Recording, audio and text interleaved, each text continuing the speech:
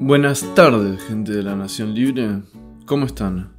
Yo soy, ¿saben cuál es mi nombre? Mi nombre es Matías y mi apellido, como algunos de ustedes adivinaron, es Tabil. Algunos me llaman el turco Tabil. Y soy un licenciado en psicología que se ha convertido en un fiel servidor de ustedes y de este canal llamado Asociación Libre. Hoy tenemos un gran video. Este video vamos a titularlo El obsesivo y su compulsión a decir la verdad.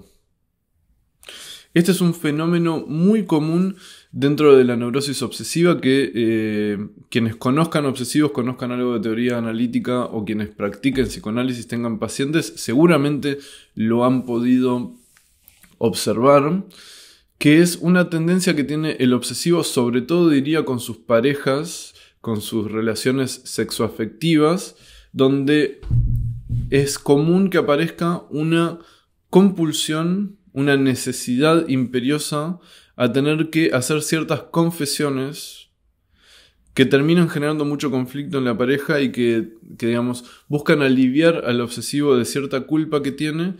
Eh, y si bien lo logran en un principio, también es necesario como repetirlo y repetirlo, eh, esa confesión. Entonces es como un ciclo interminable que termina eh, dañando la pareja.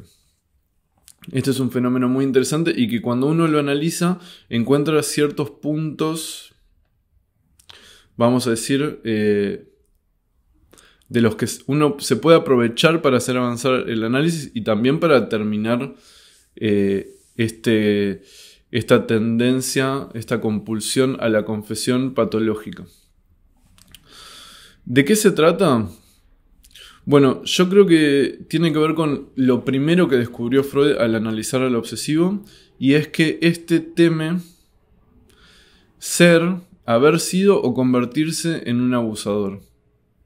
Esto está muy en el núcleo de lo que es eh, el miedo, el fantasma inconsciente de un obsesivo, eh, y que lo amenaza en muchas de las esquinas cuando se relaciona con, una pareja o, con una mujer, vamos a decir en este caso, sexo afectivamente. Esto está muy en el núcleo de lo que primero Freud descubrió cuando exploraba las neurosis, que él descubrió que eh, la histeria, por ejemplo, parecía, eh, sus síntomas parecían provenir de ciertas experiencias de abuso que relataban o tener vínculo con ciertas experiencias de abuso vividas pasivamente que luego quedaron reprimidas y que se expresaban en algo de los síntomas. Y el obsesivo, al contrario, eh, sus síntomas parecían ser reproches de abusos cometidos activamente en su niñez, ambos, Luego Freud descubre que muchos de estos no sucedieron realmente, sino que fueron fantasiados,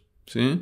Si bien obviamente muchos abusos suceden y en muchos casos, digamos, él pasa de la teoría de que siempre se trata de un abuso real que aconteció a pensar, no, muchas veces en la mayoría de los casos son simplemente fantasías de, abusos, ¿no?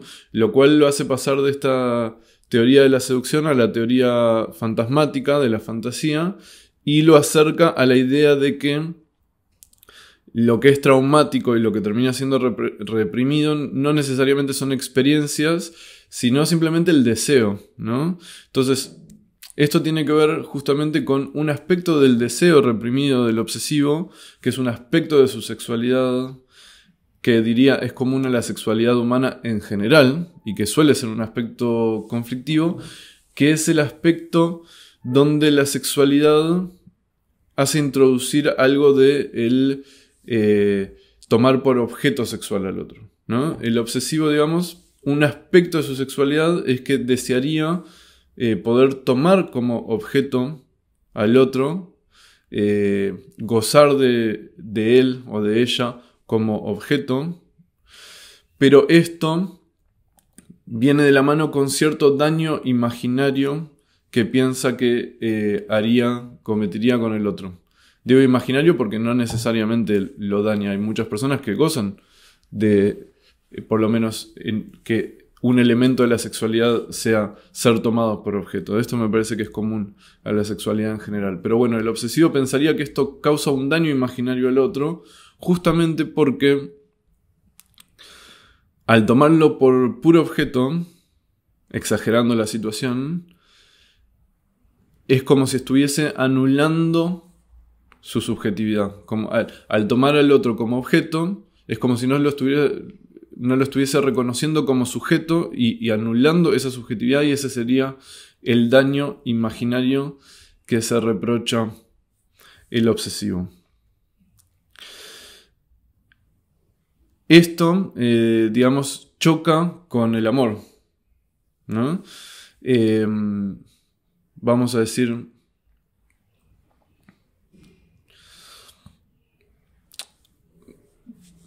El obsesivo se, tiene miedo, digamos, de eh, cuando aparece algo de la experiencia del amor, ya sea en él, en la otra, en la otra persona o en los dos, eh, tiene miedo de estar como aprovechándose de ese amor para engañar a la otra persona y que ella baje su guardia y entonces él poder aprovecharse de ella como objeto sexual. Esto incluso, digamos, puede estar inconsciente en el obsesivo. Puede ser que, haya que hacer un trabajo analítico para poder descubrir que este es el, miedo del fantasma que está de trasfondo, pero es súper eh, común. Esto tiene que ver mucho también con la división que descubre Freud. Eh, cuando él estudia ciertos casos de impotencia, él descubre que eh, la impotencia de estos hombres tenía que ver con que no les sucedía en todos los casos, sino que les pasaba solo con la mujer amada, mientras que con, por ejemplo, otras como prostitutas no eran impotentes. Entonces Freud descubre que hay una división en, vamos a decir, en estos casos, donde por un lado está la corriente tierna, amorosa, y por otro lado la sensual, el deseo sexual, y que entran en conflicto entre sí. Y lo que él termina diciendo en ese texto que se llama Sobre la más generalizada degradación de la vida amorosa, que es súper interesante, uno de mis textos favoritos, eh, él descubre que en realidad esta división entre la corriente tierna y la corriente sensual, en realidad es universal, o sea que todos eh, de alguna manera tienen esa división más acentuada o menos, en, los casos más heavy, vamos a decir, eh, más patológicos, esa decisión es más tajante, ¿no? Pero que en algún sentido siempre está esta diferencia y este choque entre el amor y la sensualidad, y es difícil conciliarlos. El, el obsesivo eh, y este, este conflicto con su deseo inconsciente que lleva a la, a la compulsión, a la confesión, justamente para mí entra en, la gama de conflictos que tienen que ver con esa dinámica de esa división entre el amor, que buscaría reconocer al otro como sujeto, cuidarlo, eh, tiene que ver con, con la a quien elegirían para formar una familia, la madre, eh, la madre que no es sexuada, porque eso sería un daño imaginario para, para, ella, es como una madre sin sexualidad, como la Madonna, como la Virgen María. Y por otro lado está la mujer deseada, pero que eh, se permite tratarla perversamente como objeto, eh, gozar de ella, pero no, la ama porque justamente eso la, degrada, ¿no? Entonces hay, todo un conflicto en relación a eso.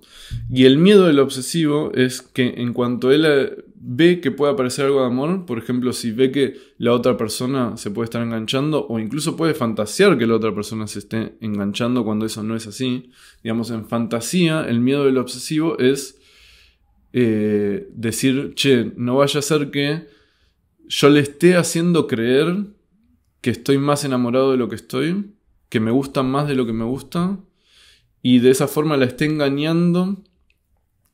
Eh, y que después cuando, no sé, tengamos relaciones eh, y qué sé yo, la, la lastime, ¿no? Como que, yo me convierta en, o sea, el miedo del obsesivo es jugar un papel de player, de jugador, de seductor, de don Juan, de cabrón, de gato, todos sinónimos, digamos, en los distintos países y las distintas formas de decir de, habla hispana, que apuntan a este eh, lugar, a este papel como de seductor de alguien que jugaría con la mujer, eh, haciéndole creer que, que hay una historia de amor para que ella baje la guardia y entonces aprovecharse de ella como puro objeto.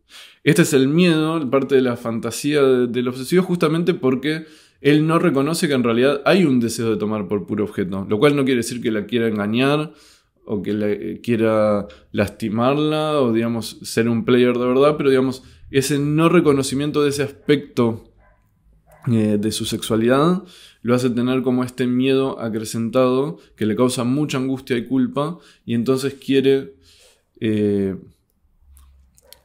erradicar, protegerse de esta culpa, compensarla mediante este síntoma eh, de la compulsión a la confesión. Entonces, ¿qué es lo que hace el obsesivo? Esta falla del amor, ¿no? Este, este, aspecto donde no es amoroso, donde no le importa la subjetividad del otro, sino que eh, digamos, eh, tiene intereses eh, egoístas o, digamos, no, no, está tan entregado a la experiencia de amor con el otro, cualquier mínima cosa de estas, cualquier falla, cualquier eh, algo que participe de la no totalidad del amor, el obsesivo se ve como inclinado a tener que confesarlo, patológicamente. Y de esta forma busca protegerse de estar engañando al otro, de estar haciéndole creer algo de un amor que no es tal, de protegerse de caer en una posición seductora. Y de esa forma es como si le dijera al otro, bueno, vos estás avisada. Si vos querés eh, seguir con esto, entonces yo ya no soy responsable. No es que yo te esté eh, engañando, no es que yo esté jugando con vos, no es que yo te esté, eh, me esté aprovechando de vos, digamos. Sino que esto ya no es mi responsabilidad, es responsabilidad tuya. Y esto obviamente puede, o, mínimamente de los dos, ¿no? Esto obviamente alivia al obsesivo en un punto,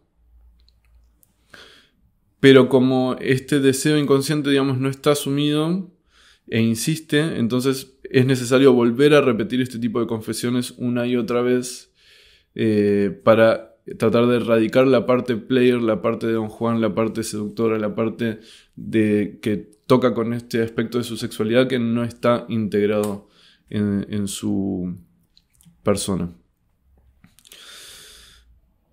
No solo, digamos, esto, más allá del alivio momentáneo que después lleva a tener que repetir eh, este ciclo porque la culpa no desaparece, sino que además otro de los peligros es que eh, termina dañando mucho a las personas con las que está el obsesivo porque estas personas no entienden qué es lo que está pasando y viven estas confesiones repentinas del obsesivo como bastante agresivas, porque efectivamente eh, pueden ser tomadas de esa forma, ¿no? Porque el obsesivo a veces como que tiene esta dificultad de no darse cuenta de que hay una diferencia entre lo que uno dice y lo que eso implica cuando uno dice, ¿no? Como esta diferencia entre el enunciado y el subtexto del, enunciado, como la enunciación de, por ejemplo, no sé, si uno dice eh, tal persona no es la persona más inteligente del mundo, eso es una verdad. El enunciado es verdad. Uno está diciendo que esa persona no es la más inteligente del mundo. Pero el subtexto de eso es que uno está diciendo es un idiota, ¿no? O se puede leer de esa forma. Entonces, el obsesivo como en su compulsión a, querer decir la verdad, a, querer ser como muy preciso de no decir algo que no sea verdad, dice ciertas verdades que no quedan, no las recibe el otro como que, como, que esas son las verdades, sino que lo que recibe el otro, lo que entiende el otro, lógicamente, porque así es la vida humana, es el subtexto que puede ser mucho más agresivo. ¿Se entiende? O sea, si por ejemplo, esto pasó con un paciente hace poco que tiene eh, algo de esta dinámica. Em, por, algún, por una discusión que venían teniendo con la pareja, le termina diciendo, no, que sí, que, bueno, que ella, digamos, no tiene el mejor cuerpo, que, que sí que, que le atrae, pero digamos, hay, hay otras mujeres que tienen mejor cuerpo. Ahora, eso es una verdad. Se puede decir casi de cualquier persona del mundo, o a cualquier mujer le podrías decir eso. Pero digamos, más allá de que eso sea preciso, sea verdad, el subtexto de lo que está diciendo es como la otra persona lo puede recibir muy fácilmente como, ah, entonces no te parezco linda, no, no te atraigo, no te gusta mi cuerpo, eh, estás recaliente con otras mujeres. O sea, ese puede ser el subtexto. O sea, lo que dijo el obsesivo intentó ser preciso porque dice, yo no voy a engañar, no le voy a hacer creer algo que no es, no voy a... ¿No? O sea, ese supongo que es el eh, trasfondo inconsciente de lo que el obsesivo está queriendo cuidar en, tanto culpa, pero no se da cuenta que haciendo eso termina, eh, al contrario, en vez de, de, de queriendo cuidar al otro, digamos, le termina generando un daño porque no se da cuenta del subtexto digamos, de, cómo lo puede recibir el otro y de que hay un lugar en la vida humana y en las interacciones humanas para no ser tan preciso en tanto verdad, sino como cuidar más las implicaciones de lo que uno dice, o de que, digamos, no hace falta decir eh, en el enunciado toda la verdad para que se entienda eso, porque cuando uno intenta decir toda la verdad, lo que termina eh, diciendo es otra cosa de lo que quería decir. Entonces ese es un consejo para los obsesivos. Bueno, hasta acá este video entonces acerca de la compulsión a la confesión, fenómeno muy común en la neurosis obsesiva. Espero que les haya gustado, que les haya arrojado algo de luz a quienes padezcan de, de este tipo de tendencias o que lo vean en sus pacientes.